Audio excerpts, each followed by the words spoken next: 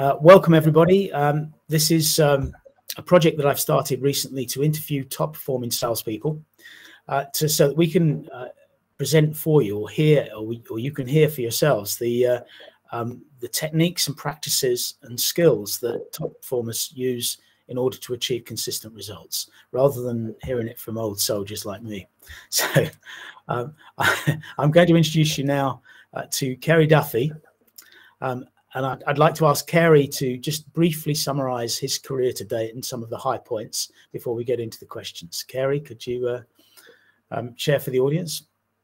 Thanks, Clive. Hi, everyone. Um, yes, I am Cary Duffy. I've worked in sales since I left school 17. Um, and I originally worked in paper and print in the suburbs of North London. And I, from probably the late 90s, was moved into technology. So I've worked in technology sales for, for very many, very many years now. Um, I think it's all well over 20, 25 years of experience. And now I work for a, a UK IT services provider.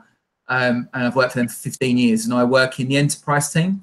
So my core focus is selling into uh, the enterprise space, uh, organizations, pretty much UK centric, but over like 250, 300 million and upwards, uh, selling a range of different services to those uh, those types of organisations.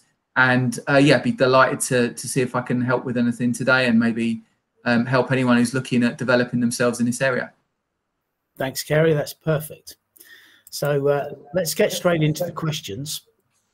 Um, perhaps you could tell our viewers and me uh, something about the habits and practices that you consider to have the most impact uh, on your sales success. Okay, it's a good question. I think um, I, I, read somewhere recently that discipline equals freedom, uh, and I'm a strong believer of that um, in terms of the discipline that's required um, in quite an, an emotional, turbulent uh, role that we've got as salespeople to have the discipline to do the right things at the right time. Um, and that really starts with how one conducts themselves in terms of making sure that they're looking after themselves to be in the best shape ready to to be successful in their job from that be a mental and physical perspective as well. But generally i think sales has got a lot to do with planning understanding the right activities and measuring success in order to kind of determine what uh, brings the best outcome. Um, and i think some of those habits might be if speaking to other people i know who've been very successful they have a plan which they work to and a strategy that they work to which has core fundamentals in terms of, to give an example, it might be the importance that they place on prospecting. Whatever stage of the career they're at, they're always looking to to build their pipeline, which the pipe is life, right? So it's the most important thing to keep focus on. Still trying to create that top of funnel pipeline and trying to work and leverage your internal network or people within your organization in order to keep keep creating that pipeline of opportunities you might be able to work on. So I think if you if you undermine what you're doing or underline what you're doing with just core principles of what you do as a salesperson, with that perhaps being the most important one of that constantly looking for that next opportunity where you can create value for people in or outside of your network. I would say that the long, you know, people who've got longevity in sales still continue to hold that principle very close to the to the core of what they do. Does that make sense? Absolutely, that makes a lot of sense, and I love that sound bite. The pipe is life yeah, well, it, it really is. It, it, it, really is, isn't it? Because ultimately, um, you know, we there's winners and losers in every single engagement, and there's no way that you can guarantee whether you're in you're never in full control of a of a customer's buying process or a customer's decision because it's because it's ultimately up to them. It's, you know, it's free will and all that. So you need to have a varied kind of diversified type of Depending on what you sell, if you sell a service or if you sell a product, it's quite different perhaps. But you just need to have a lot of different long-term, large, small, those different ones that you know will kind of flow through their old sales cycles or buying cycles, as we should really say, um, at different rates. So yeah, the pipe's everything. It's like that's what I look at. If I've not, if you've not built pipeline recently, you're already stagnating. You're withering on the vine, or one is. So it's always important that you keep trying to refresh that top of pipeline. What sort of pipeline ratio do you try to maintain? I'd like good, good question. Three times is kind of like what you would say. So you'd like to three three times of your annual quota, your number. So if I've got a one million pound quota, I'm rolling. Some people I've spoken to prefer five. It really depends on the type of you know where you are in your sales career and what you're selling, because obviously you know you could be in a some sort of sweet spot. You have the ability to sell very large solutions, which ultimately could you know crash your quota within two or three orders. So it's very difficult to be very scientific about that. I'd love to say five. Five would be wonderful, wouldn't it? But then the, the, the, the, paradox of that, it would be very difficult to service five times your pipeline, moving these different kind of deals through the stages yeah. when they kind of come in and come out, unless you've got a team of people working for you, which would be which would be great, and they were just managing your opportunities with you. But quite often, it's very difficult, of course, to determine which one of those is going to give you the best chance of the successful outcome. So quite often, you have to overcompensate and spin more plates in order to kind of give yourself the best chance of it being one in four or whatever that might be. If I knew, if I knew the answer to which of the ones to go for, then you know, I'd either I don't know, you wouldn't, I, I wouldn't be available to speak because I wouldn't be doing it anymore. I, I should imagine. Well, you must have a way of deciding, you know, filtering out. So, how do you decide if something's an opportunity? Because I mean, the pipeline of three to one would suggest that oh. you're going to convert one in every three on it. On average. It's a, it's a, it's a really it's a really great question. Really great question. And one thing I've also done, which just comes back to your previous question, is I've done consistently now, probably for the last three or four years. Whereas before I was always a student of sales, but I just learned on the job and I would do my training and whatever. I think the proliferation now of um, sales um, insights that are available to just anyone who's you know got the internet is just incredible. From the amount of sales books, books now which really talk about the modern seller and the modern buyer, which are available to on Audible, the kind of courses that you can attend, the videos that you can watch. YouTube is stacked full of very, very good thought leaders in sales, helping people through the development process of their own careers, etc., etc. So I really think now that there's there's a lot of tools and methodologies in terms of um, uh, qualification processes that you can take on, and ultimately different ones work for different people. You know, you've got people like Scotsman or people like Bant or all these are kind of other ones that can use. But I feel like when you do a lot of reading and research and it becomes more than just your day job in terms of really wanting to kind of immerse yourself in sales, what you tend to do is, or what I tend to do anyway, is take a little bit of all of these qualification methods and they become kind of my own way that I look yeah. at an opportunity. And the more that I've done this over the years, the more it's become more intangible. It's kind of like a, a, gut feel that I think is something. There are a key few key drivers in terms of in discovery. I think you can find out a lot about an opportunity. How well your discovery goes in any engagement with a new prospective client or someone you know who doesn't even who's not even approaching a bottom window but someone you might a business lady you might have the opportunity to speak with. I think in discovery you can really uncover whether there is something here that you can pursue or whether there's a demonstrable chance that you can provide a great outcome can you add value to this person and their organization? Yeah okay well that's kind of like my benchmark. Can i see something there that's tangible an interesting thing that you say as you move down into the opportunities and you've got all your opportunities logged on your CRM, when you look at those opportunities really it's a case of understanding from the customer whether there's you know uh, whether there's a perceived pain or a, a goal. If, if you're moving away from pain or you're moving towards a goal for which the rewards are understood and they've been quantified, then I think those two things you can kind of look to match towards. I think most people do move away from pain. I think that's probably the greatest compelling event for any major purchase, certainly in technology. But often there are obviously organizations who need to catch up need to get somewhere. Perhaps they've got their own agenda to, to, to meet, and they're moving towards uh, moving towards pleasure or, or, or, a desired future state. So really, you've got two ends of it. You've got pain, and you've got a future state of positivity, which is very different to their current environment. But when you start to understand, if you during your discovery, if people have done business cases, is there a business case that's already been kind of approved by the board? has there been some sort of analysis on what the cost of inaction might be you know maintaining the status quo what would happen if you were still in your your, your current position a quarter later. There's a myriad of kind of questions that you can ask to actually dig under the the, the what's a, you have to be a detective in sales, right? What's what's written and stated as to, and then what the real reality is of the situation yeah. that you're facing. Because many times, Clive, over the years, um, I've gone into a situation and believed what I've seen in terms of okay, there's an RFP for a major kind of technology outsource. Gone six months through, burnt many cycles, and realised that actually the biggest the biggest obstacle in this is not another vendor winning or not another service provider, but it's just failure to launch. It's no decision.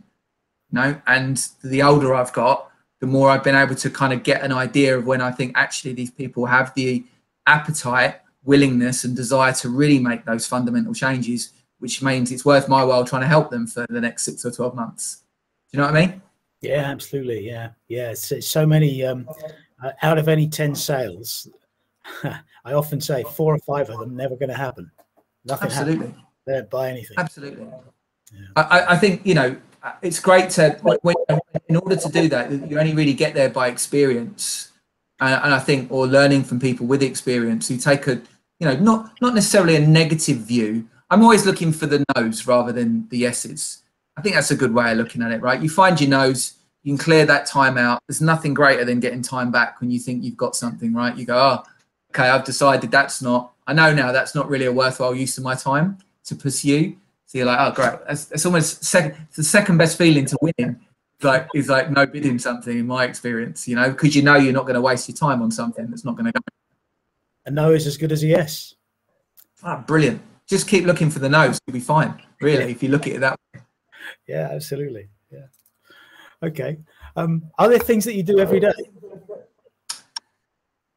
Yes, there are. Um, plan and a little bit the night before, planning and constantly changing the way that you plan your day and the way that you best organize your key priorities for the day. I mean, I've got, you know, I've got a jotter, I've used online stuff, I've used notes on my phone. But the thing that I try to do every day is I write a list, and maybe it's a list I've got from yesterday.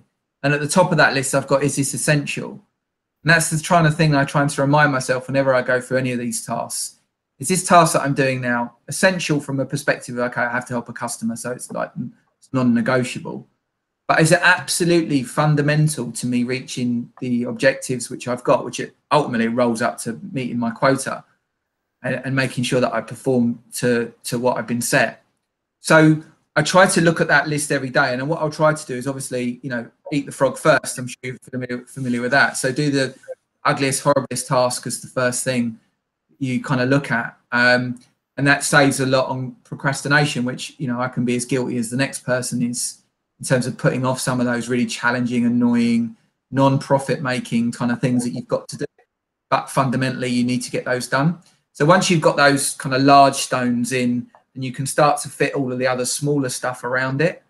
Um, so really prioritization of three main tasks in a day. Um, I read a lot of stuff and like people say that, you know, if you've got more than three main tasks in your day, then you, are doing something wrong. Um, and I know everyone works in different sales environments and sells different kind of products and services. But really, once you get to a level of focus on one particular, they call it monotasking, right? Once you do you have you heard of the Pomodoro technique where you kind of set an alarm for I have, yeah. minutes? Yeah, you know that, right? So just do that. Just drill down, drill down, drill down. Monotask. Ignore all of the dopamine potential hits of like your teams coming up or your phone going off or an email coming in. If you could do as I say, not do as I do, right? But I'm just, you know, that that that's kind of the ideal scenario that you would just be able to focus on one task at a time, giving it your full attention and then breaking after 20 minutes, taking a taking a break, refreshing your brain, and going back into it. So yeah, I think prioritization of the task and a realization of like, is this essential? So you never get away from those because once you start working to other people's agendas and reacting to stuff as it kind of comes in and hits your kind of inbox or your teams or your other messaging or your Slack messenger, then you've kind of lost control over that. And ultimately, it's about being good at saying no to a lot of stuff, which I find really hard. But saying no is really great in terms of trying to make sure that you do what's really important for you. Yeah. Yeah, it's what you don't do that makes the difference. It's what you choose not to do that makes the difference. 100%. 100%. Yeah, that's excellent. Okay. Um, what mistakes have you learned to avoid in your sales career? Um, I think one that might be slightly different to maybe what you're expecting. I think I really have invested everything emotionally and personally into the the outcome of stuff that's not not really in my control.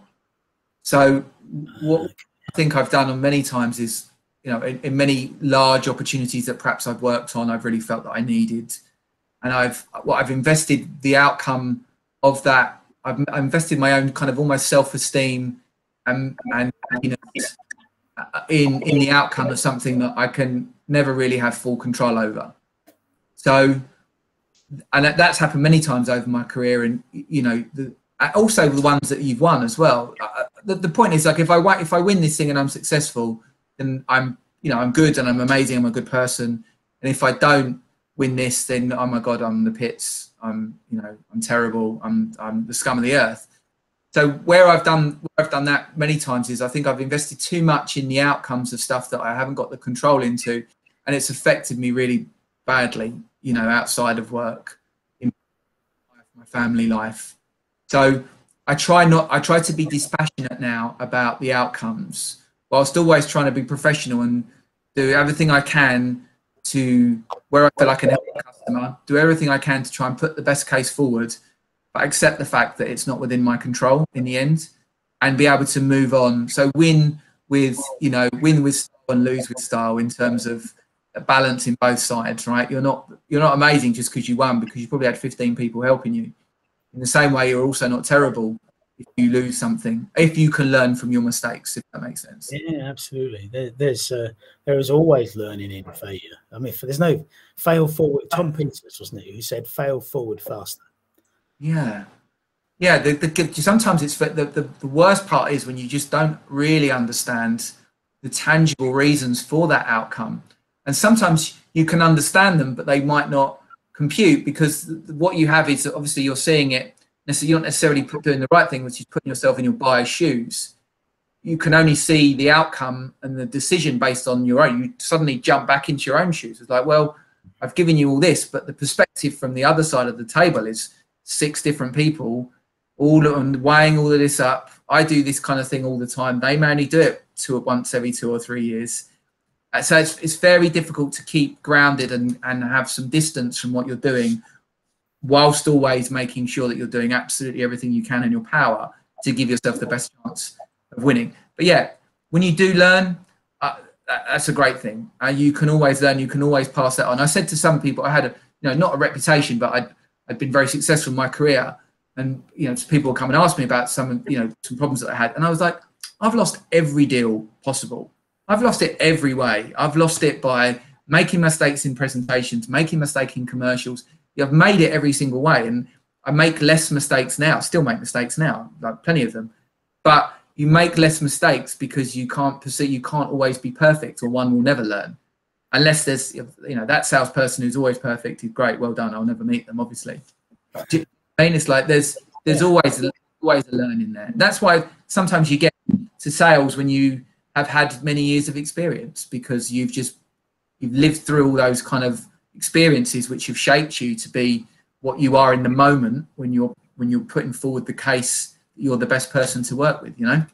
Yeah yeah it's but it's all about, as you said, it's all about learning from your failures. Oh, there's always something to be gained, even from the things that don't work out. I think. And I think. Yeah, know, I agree. Expressing. Yeah. Um,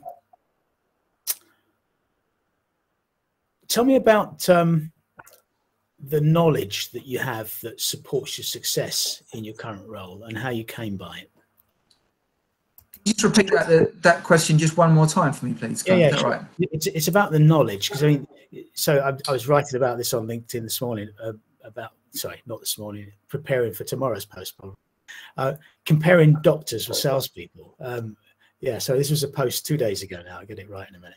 Um, and um, so, what are the admirable qualities of doctors that salespeople should copy? And uh, one thing that's obvious is their, um, their huge knowledge, right? That they spend a decade gaining. And, and in sales, I think that's very important too, although we, we usually don't get a decade to learn it. Uh, and so the question is about what's the knowledge you have that sustains you in your current role in, in the in the job that you're in, and how did you come by it?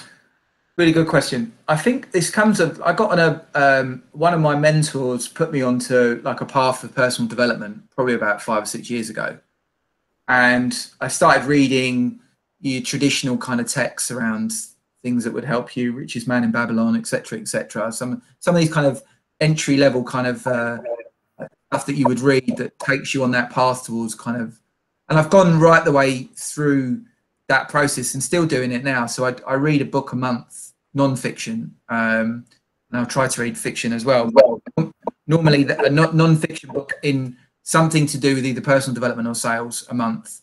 And that's an audible, so you know, got headphones, plenty of time to be walking around with that if you can, whether it be on your commute or or walking anywhere or around the house, as my wife likes to tell me to take them off. So I've got them on.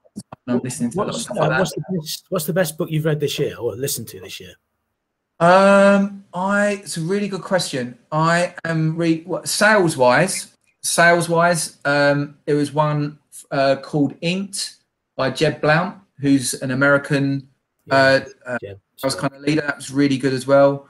Um, say that one was really impressive. In fact, I just get my order up as well at the moment.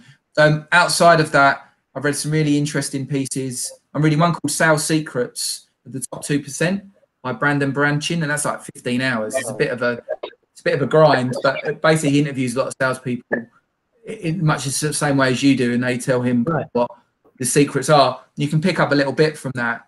Um, what else am I reading?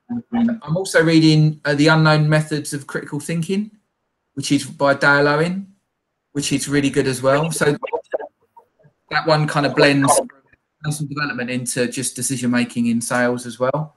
Um, so, and the, the, last one, sorry, critical. The uh, I'm just trying to write it down. Uh, yeah, sorry, it was the unknown methods of critical thinking. And by uh, by Dale Owen. Dale Owen, brilliant. Okay. Yeah. And then the other one, just as a, as a which I've been meaning to read for ages, was Man's Search for Meaning by Viktor Frankl, oh, which is not an yeah.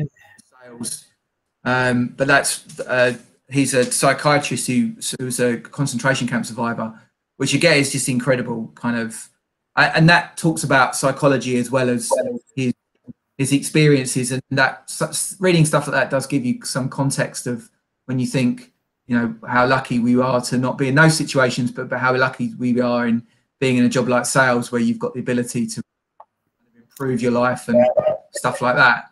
Stuff like that really helps kind of give balance, if that makes sense. But I've I got about a book. I got a reading list of about forty. I could share with you. Me too. I, I, read I read the Viktor Frankl book of years, decades and decades ago, maybe forty years ago. Yeah. Uh, to, for me, um, how do you find the will to carry on when you're in such a you know if you, if you read about the conditions that they had to experience and that they had to well, they had to deal with each day the question in my mind is how do you survive that? And i think that's what the book's about. Yeah 100% i mean he's applied that there's a logotherapy is his own you know his own school of psycho, psychoanalysis. The interesting thing i found about that book where he after a while because he because you know being a doctor uh, not a you know, medical doctor, but in the end he had to do a lot of that work.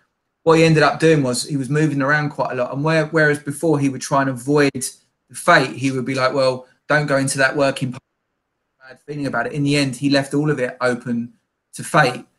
And so he stopped trying to be in because he was no longer in control of fate, does as she pleases, right? So, but you just have to kind of throw it out there to the universe. And he was lucky enough that he just kind of got through it and survived, whereas many other people did when they tried to take control and go try to avoid that or do this. He just was like, well, it is kind of what it is, you know, where I am, and I just need to kind of just you know just make the best of what I can do, right? Yeah. Um, the other thing is, well, I've got quite into which you might be interested in is uh, Stoic philosophy. I don't know if you heard of the Stoics. Yeah, yeah, the Stoics.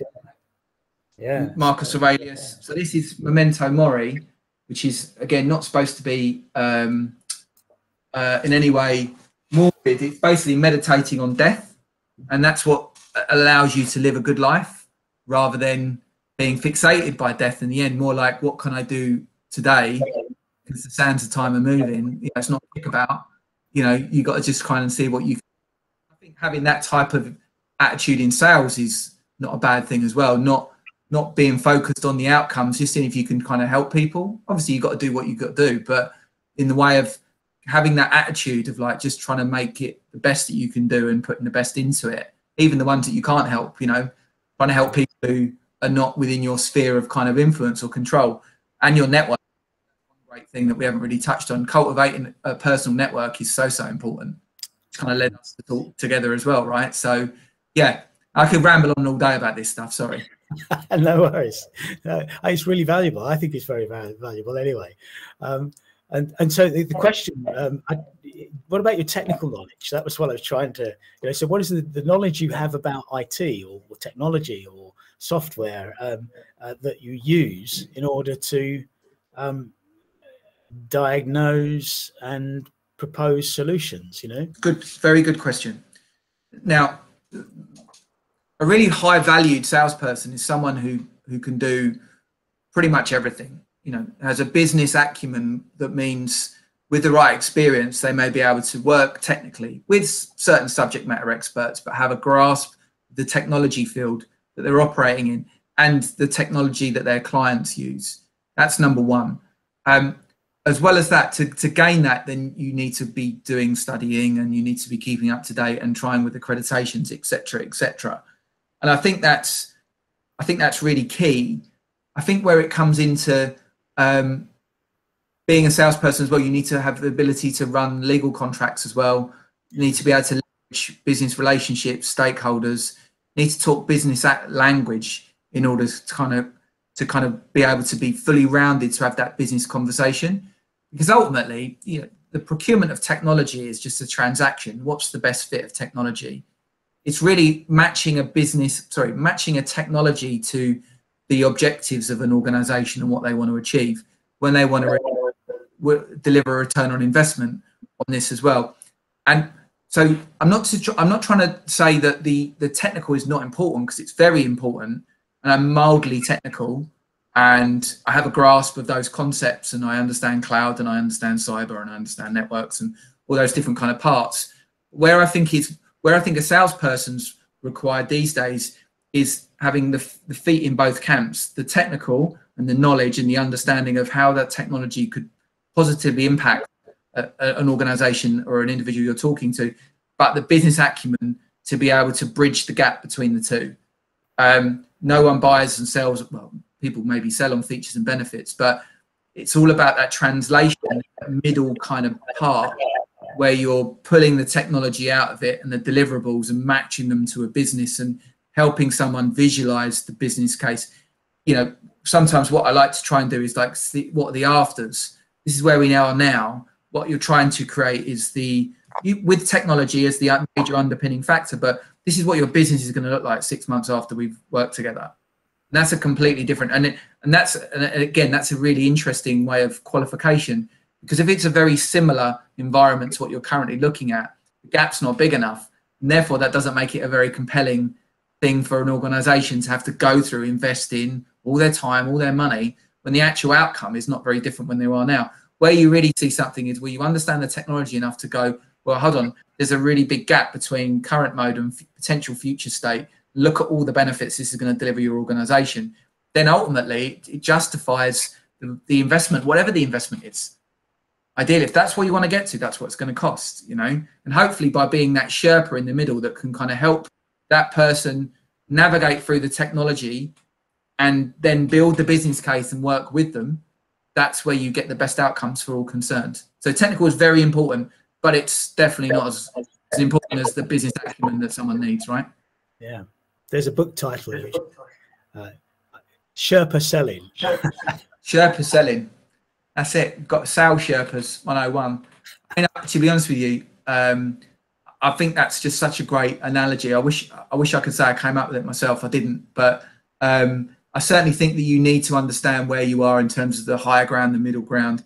Help your organ, help your business. Sometimes the challenge, Clive, is just do do people is there a, is there sales first people who've just had an experience or an association with salespeople to not be what I would perceive a good salesperson is in 2021, which is someone who wants to help people help navigate through the very kind of difficult way, way um, waters of making the right decision for their business, whether it be me or anyone else. So when people think just you know there's some barrier up there, then sometimes people are, are not willing to even lay down their guards in order to create some real trust in a relationship. And you can only be genuine. And and the thing is, in in this kind of scenario, you just try and fall back on your reputation. That's the bit. If you've got a good reputation, you've built things up, you've helped people before. You're like, look, I could say this, but just here's some of the people that I've worked with, and this is what they said about what I've done for them. So you know, you'd hope that that was some advantage anyway. Yeah, absolutely. So, um, what do you see um, as the things that you are strong at, and the things that you would like, you wish you were better at? Good question. Um, I think I'm pretty strong in the uh, with a customer.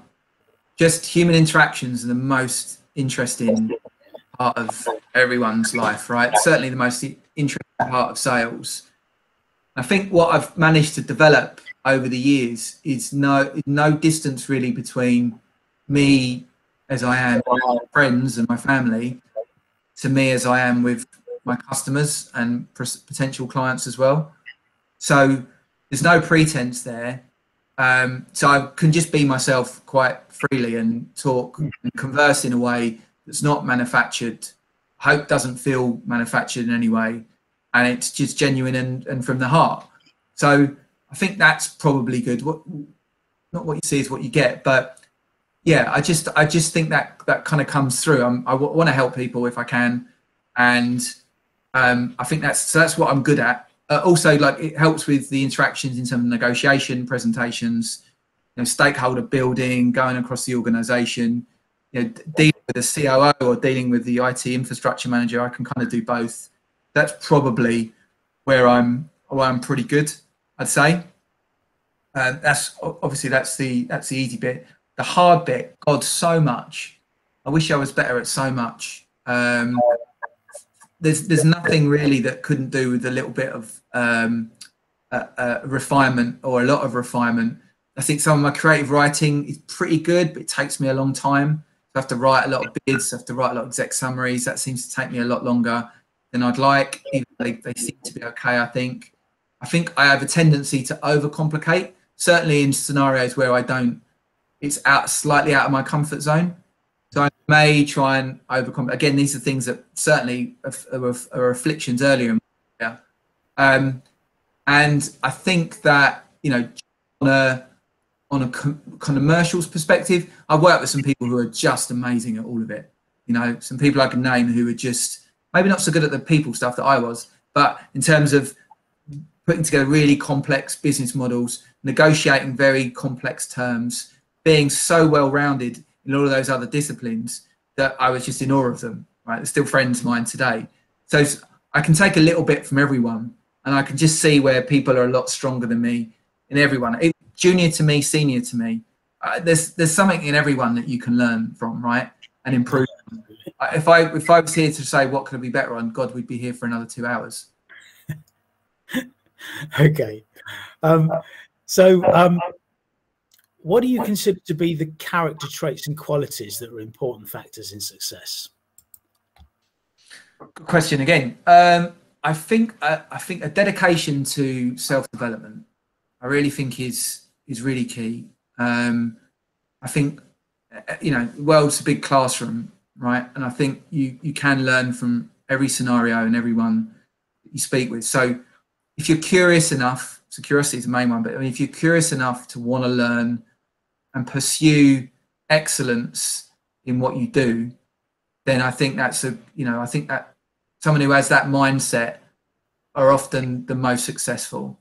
People who, who don't rest on their laurels and have that emotional resilience that's required in sales to be able to get up the next day, get out of bed the hundredth day in a row at 6 a.m to start work again and, and to keep going there. So you, you certainly need that mental, you know, mental fortitude and commitment to self-development. I would say are the ones that are really there as well. Uh, and I think anyone who's open to to to criticism um, and open to constructive criticism of what they do where I find it's very difficult. You you do you don't really find a lot of salespeople who are willing to do stuff like you know internal workshops and role plays with their peers because we're also worried about you know how that might affect our egos. We're quite egocentric salespeople, and you know, so I think that I think that if you can kind of leave that at the door a little bit and leave yourself completely open to just accept you're going to make mistakes and no one's perfect.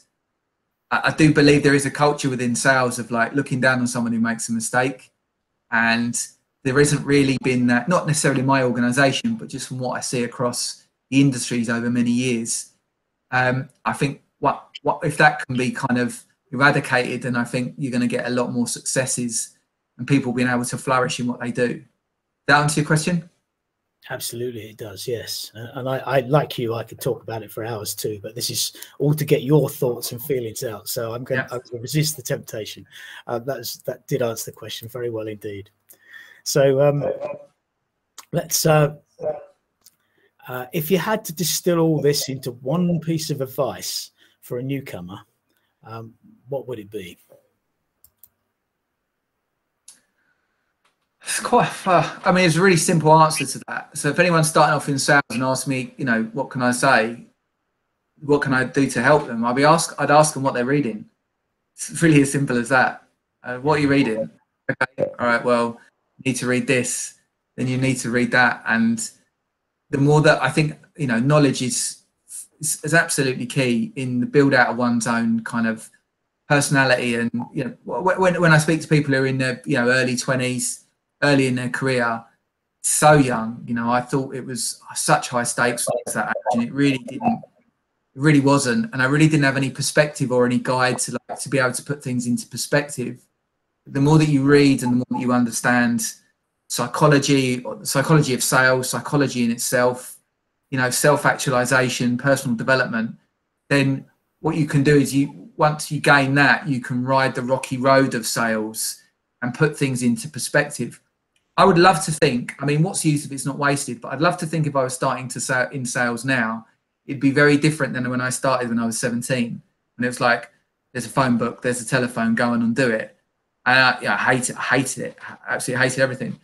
Now there's so much available to someone who really wants to make this a career that you could. There's a lot of theory there, but you start to bring it and breathe it into your world. And I just think that's so good. So that's if anyone said to me, "What advice can you give me?" I'll be like, "What are you reading?" And my advice would be that maybe the next book for them to pick up. That's excellent. That is absolutely extraordinarily valuable advice. And I'd just like to underline it with a quote, which is um, uh, from Sir, I- Sir, Isaac Newton, who's his very famous scientist. Hopefully, everybody's heard of him. And, and it, it, was If I have seen further than other men, it is because I stand on the shoulders of giants. Absolutely. And, and that's absolutely.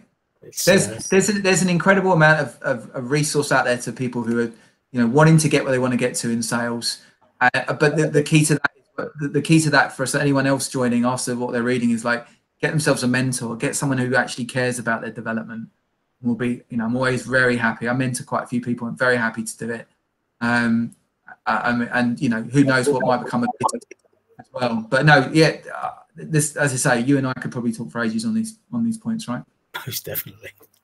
Yeah, but we, we've we've used up 45 minutes, so uh, I think we, we probably better draw this to a close. And uh, so, I mean, this has been this has been wonderful, and I'm I'm sure it's going to get a lot of views. Um, and uh, I, I, will of course share it to you, with you before I publish it. But uh, thanks for coming on this, and thanks for being interviewed. And Cary, I look forward to talking to you again in the future. Thanks, Clive. Yeah, I really enjoyed it. Thanks a lot. You too.